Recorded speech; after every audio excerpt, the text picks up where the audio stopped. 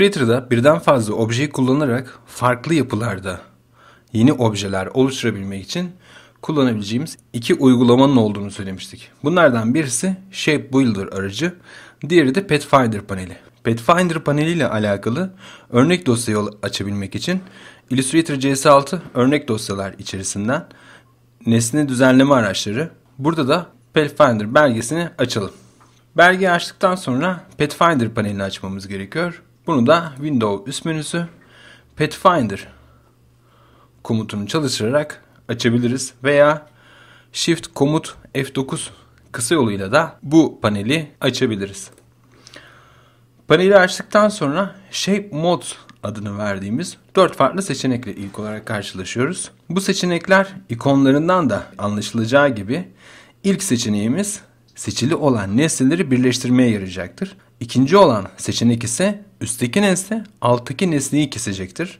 Üçüncü seçenekte nesnelerin ortak kümesini alacak ve geriye kalanları silecektir.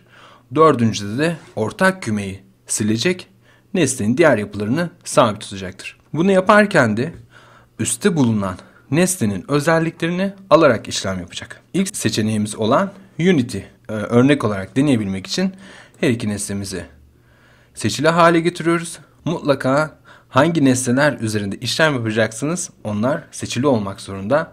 Nesneleri seçili hale getirdik ve birleştir komutunu çalıştırıyoruz.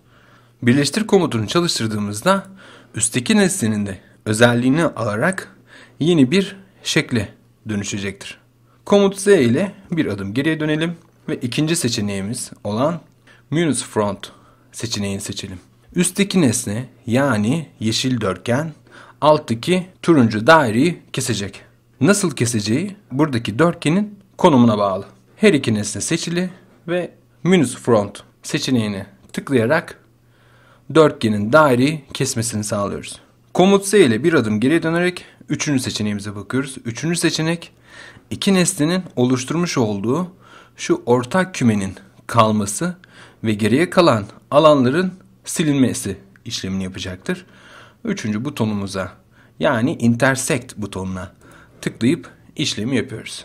Son uygulamamız için komut Z ile geriye dönüş yapıyoruz. Yine her iki nesnemiz seçili, uygulamada kullanacağımız nesneler seçili ve son butonumuz olan exclude seçeneğini seçerek sadece ortak kümenin silinmesini, geriye kalan parçaların kalmasını sağlıyoruz.